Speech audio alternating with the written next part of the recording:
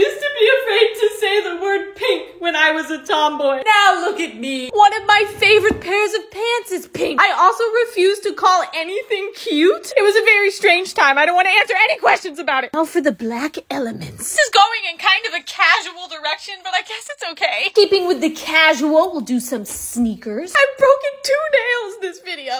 Casual. My little pink heart ring. Should we do pink sunglasses? Something tells me you won't think these are casual, so maybe these instead. Could very easily make a black and pink sassy outfit too. All of these bags are not casual enough. Maybe this tote? Hi, Henry.